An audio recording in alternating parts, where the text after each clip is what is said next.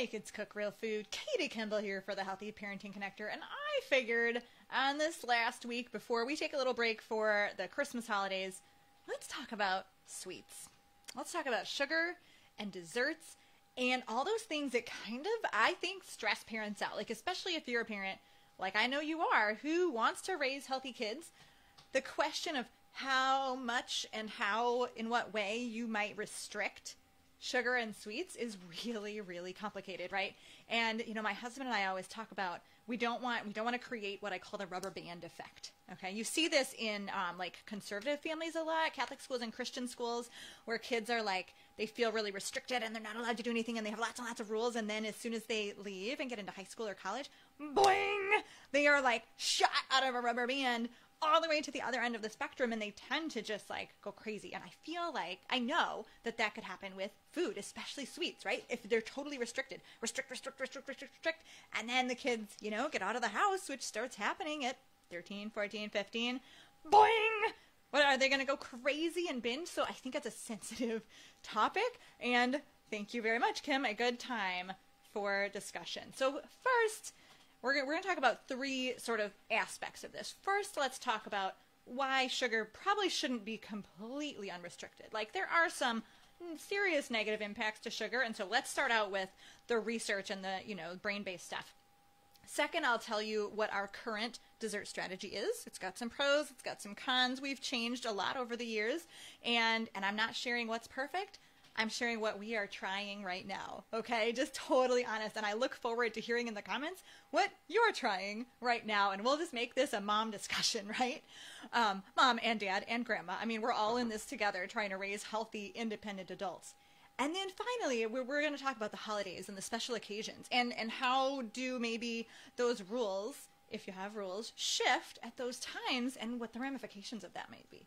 Okay, so step one maybe why sugar shouldn't be completely a free for all. Okay, and I've included some links um, wherever this interview, not really interview, I'm, I'm, am I interviewing myself?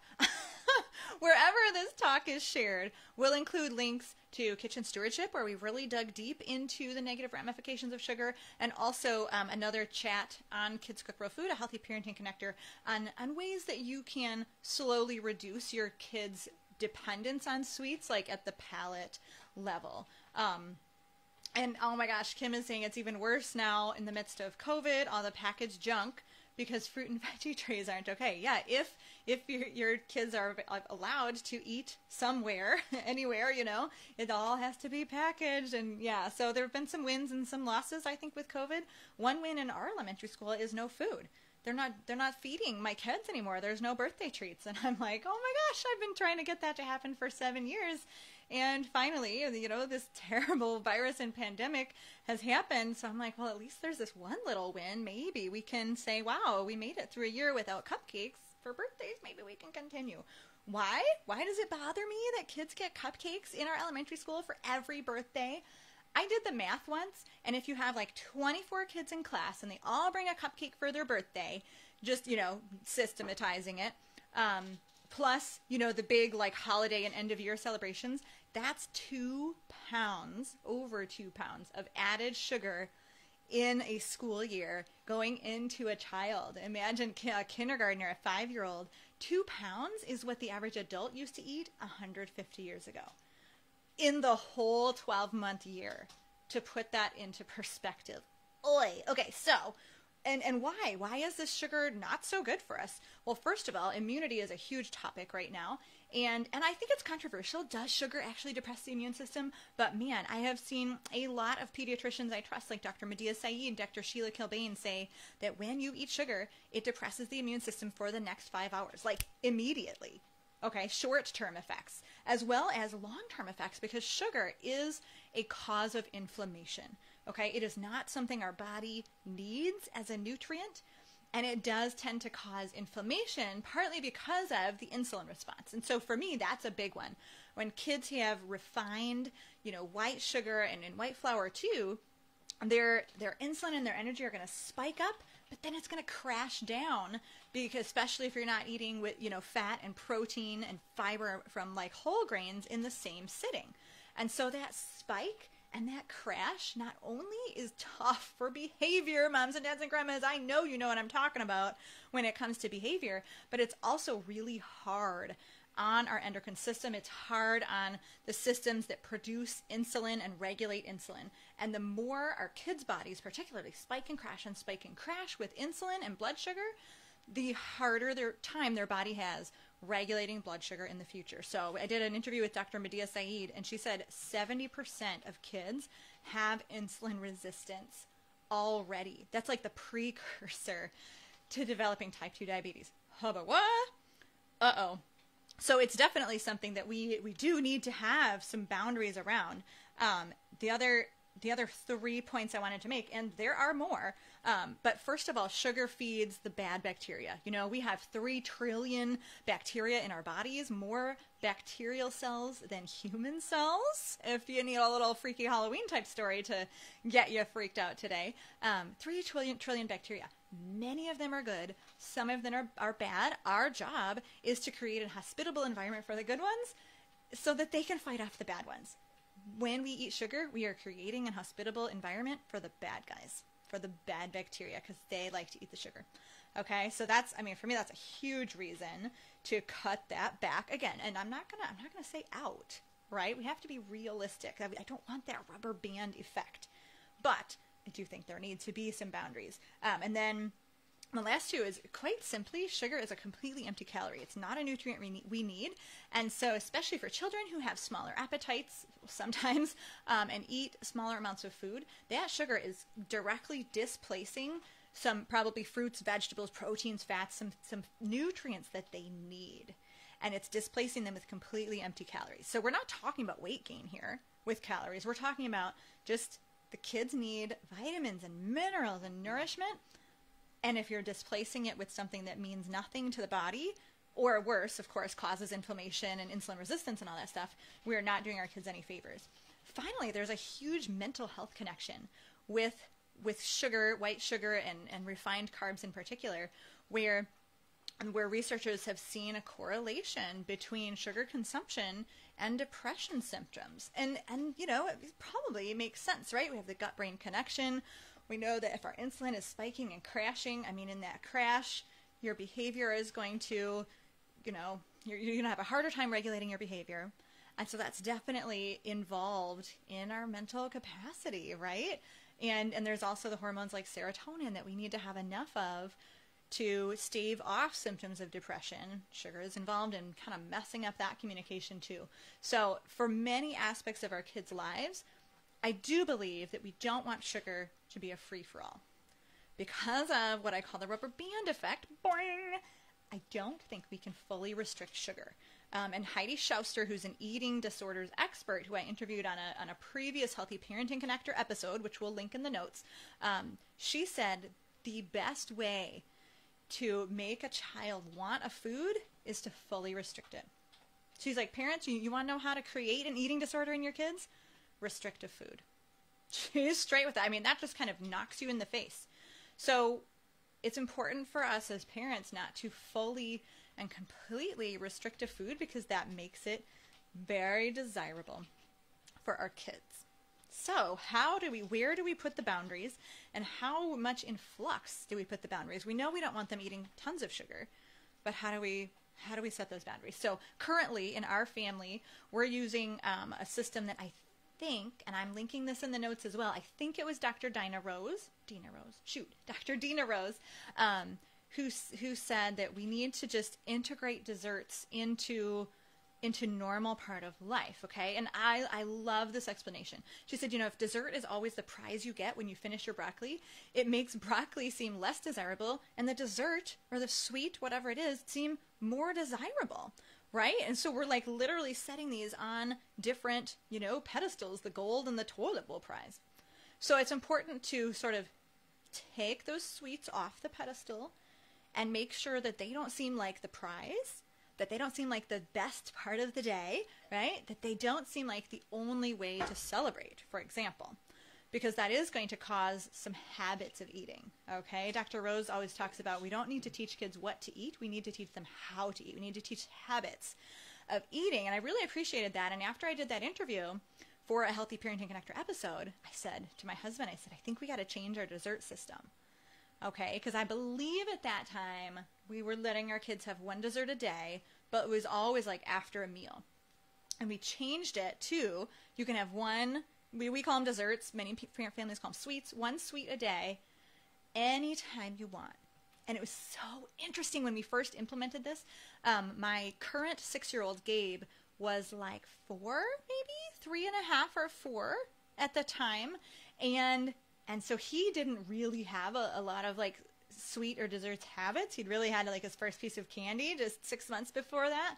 And um, he started every day for the next two months with candy at breakfast with his dessert at breakfast time. It was very bizarre feeling as the adults, you know, because of course I grew up with the habit of like dessert after school, um, or uh, not after school, after dinner. You know, for me it was like at the end of the meal. That's my habit, and so he just he he'll grab a dessert any time of day. And there are some negatives to that too, and I'll talk about that in a second. Um, my other kids, you know, they were older at the time. They were already in grade school, and I feel like they kind of already had the habit of like dessert comes after a meal. Now they do like the system in that they can sometimes have dessert at afternoon snack or like after lunch, especially on a weekend, and so that's kind of nice. And here's what I like about that system: I really like that it puts the agency on the child. They get to make the choice of of what and when. Um, and again, like they, our desserts at our house, like whatever candy comes in at Halloween or Valentine's parties or parades in the summer, which didn't have many in 2020, um, they each have their own like a Costco um, nut container. So it's about what, like eight inches tall, maybe? and all the candy that they own has to fit in that container. If they have too much, they have to throw some away. Um, and so again, they have to manage their space, but, they, but then they have to like budget their dessert in a way, right? They have to make decisions about when they want to have that dessert during the day.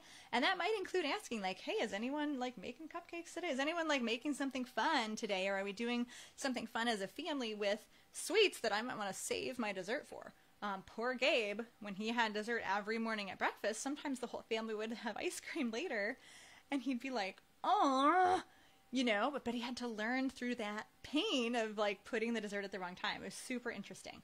Um, most of my kids still have dessert after dinner. And, you know, I guess I, that's fine. I wish I would have been able to start this whole system when they were all really little before they had those habits. Um, because I think that's good. So what I like about it is it puts the agency on the kid and it, it, makes them budget and think ahead and plan ahead, and that executive functioning is really really good. What I don't like about it is that at least for for Gabe, and it's really only it's really only the poor six year old who's I'm throwing under the bus here, but he will come up and ask us at really random times if he can have a dessert. And I think of what Dr. Rose says about habits. I know he's asking for a dessert because he's bored. And so I'm supposed to say yes under the system, right? He gets to choose. But sometimes I say no, and I say no because I think you're bored. I say, I don't think you really want a dessert. And my concern, Gabe, is that when you get bored, you think desserts or tablets. And that is literally true. Those are the two things he goes to. And anytime he's doing it completely out of boredom, I say, you know what? You need to find something, anything in the world else to do before you have a dessert or a tablet because I don't want those to be like the boredom filler go tos, right? Because then when he doesn't have the restriction of one a day, when he's a 22 year old, if he has that habit of every time I'm bored, I think about eating sweets or I think about, you know, pooping around my time on a screen, ooh, right? So it's about, for me, it's about building habits. So sometimes we do say no. So that's kind of the, the negative part of that system. I don't know if it's perfect for some people, one dessert a day is like way too many. You'd rather have one a week.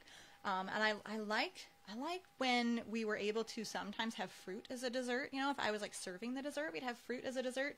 That doesn't work as well anymore when they're picking their own. Um, ideally, people run out of candy I don't know if that's this like hardly ever happens because there's always a holiday where someone's giving them candy. Drives me crazy. But that's the cool thing too. Okay, here's another benefit of this.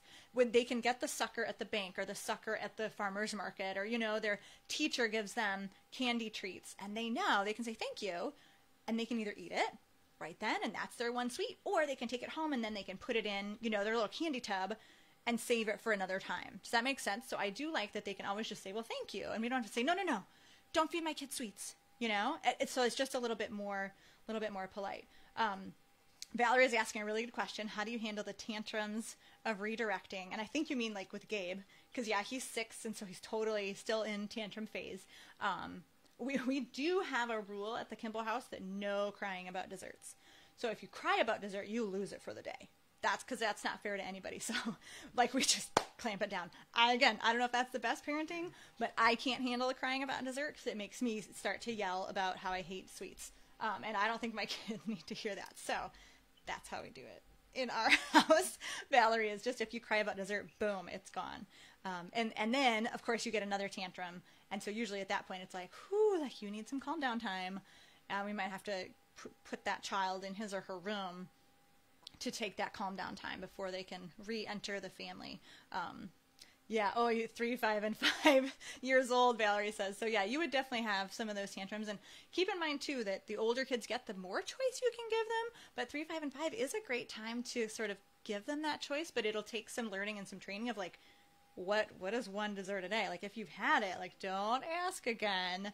Um, so there's you know there's some training there. And man, Valerie, if you can also teach your kids that like fruit is a great dessert more power to you. I will say that my son Paul is 15 and he's, I mean, he eats like a teenage boy. So there's a lot of eating going on. He definitely has a bedtime snack every day. If we have ice cream, he'll have ice cream. Um, but he often will serve himself a big bowl of frozen fruit at night as his, as his like bedtime snack. So I love that, that he's able to make different choices, able, able to make some more high quality choices. Um, but sometimes we have to run out of ice cream for him to do that because he likes the ice cream too. Um, at his age, by the way, the one dessert a day goes away. And we just talk about having to make, you know, your own decisions and know how food makes your body feel and, and understand, you know, at that age, 15 and 12 are my older two. Well, you know, we talk more with them about some of those negative effects of sugar, right? So that's what we're talking about today. Negative effects of sugar. Currently, what our our dessert system is. Um, and then and then just to throw out like there are there are people like if you serve a dessert like let's say you're someone who makes a lot of homemade treats which is awesome i just don't have time to do it um, leah my 12 year old makes a lot of homemade treats you could you could tweak that one dessert a day system by just a lot of a lot of food experts say just serve the dessert right with the meal right? So you have on your plate like your main course, you have your side vegetable, you have your your raw veggies or salad, you know, whatever whatever kind of setup you've got, and then you got the cupcake. Or for smaller children, again, the half a cupcake, right? Because you don't want them to eat their cupcake and then not eat anything else. But that serving dessert right with the meal takes that like stigma. It's, it's like whatever the opposite of a stigma is. It takes that that um, attraction of the dessert at the end of the meal away. It's just all food. Now I would I would do small servings, right? Especially for children. So maybe it's one piece of chocolate, or maybe it's a half a cookie, or you know, make tiny cookies or something for homemade. Um, but I do like that too. And I've found that again, Gabe is most likely to do this because he didn't have any of those habits built when we switched to this one treat a day system. Um, but my other kids sometimes will too. Sometimes they'll get the dessert right with their meal, and it's interesting they just all have their own personality. Some will just eat their whole meal anyway and have the dessert for last. Sometimes they'll lead with the dessert, and I think that's good every so often, even as a family, to be like, "Hey, let's we're gonna just have our ice cream first because like no big deal, right? We we don't want to create the habit that you have to end every meal with a sweet." Um, but Gabe, he'll go back and forth. He'll have like a bite of of ice cream and, and a bite of soup and a bite of biscuit and a bite of ice cream. He's one of the kids who likes to eat you know all the things at once where i have two other kids who like they're going to finish one thing they're going to finish thing two they're going to finish thing three. You know they're really like regimented and segmented. And gabe is just eat it all at once. So it's super interesting to watch. If you do nothing else with this information if you don't want to like rearrange your whole family life i would encourage you to just try that as an experiment. See what happens with your kids if you serve dessert right with dinner like even on the same plate if you can as long as you're you know kids will freak out if they're getting like spaghetti sauce on their cookie so you got to be careful. But um, that would be the one thing i would say to do after listening to this talk because it'll just be interesting. And just observe. Like don't judge. Don't talk about it. Just observe what each of your kids do um, and see what happens. I think it'll be really interesting. So we know that sugar is not good for us. We know that we do need to have some boundaries because left to their own devices, kids probably aren't going to make great choices because our bodies are made to crave sugar. We didn't used to have it in such big supply, you know, 100, 200,000 years ago. Um, so we do need to have some boundaries. Where should those boundaries be? I don't know for sure. At the Kimball house, we're really focusing on habits instead of of what we eat or how much. And so we do a one dessert a day. Um, and the older our kids get, the more likely we are to say, you choose the portion. By the way, I still choose the portion for the six year old. The nine year old, we kind of have a little back and forth usually. The 12 and 15 year old, they choose their own portions completely until the 15 year old starts taking like half a box of ice cream. And then we're like, whoa, buddy, now you're just getting rude to the rest of the family. Okay, chill. Um, finally, let's talk about those holidays. Let's talk about those special occasions. Katie, what do you do when you go into a big party? Do they still have to have one dessert a day? Um, and for us, it's a no. Okay, for us, actually, one caveat to our one dessert a day is on Sunday, which is a, you know a solemnity. We're Catholic, and I want kids to look forward to Sunday. I want them to think of Church Day as the best day. And so on Church Day, you get two desserts. You relax a little more on the Sabbath and celebrate a little more on the solemnity. So that's always that'll be Gabe. He's like, "Is it a two dessert day?" Because he's budgeting. He's thinking, "Do I want to have a dessert now, or do I want to wait until my siblings have dessert?" He's so funny to watch his little brain process. Um, so so we do if we're going to someone's party or we're having a big holiday celebration or like on Christmas when they get you know goodies in their stockings maybe or on like we just had St. Nicholas Day on the sixth and they got some little goodies in their shoes. I make up my own rules. I, I say to them, you know, whatever St. Nicholas got you, it's freebie. Doesn't count as a dessert. Just eat it whenever. Of course, Gabe's eating one right away. He cracks me up. Um, we do the same thing for the stockings, and honestly, here's why. It was a selfish reason because I would buy them like, like really nice chocolates and candies for you know some of those holidays, and then the nice stuff would get jammed in with all the Halloween candy and everything smells the same, and they would avoid the the nice high quality stuff and go for the Starburst and the Skittles and junk.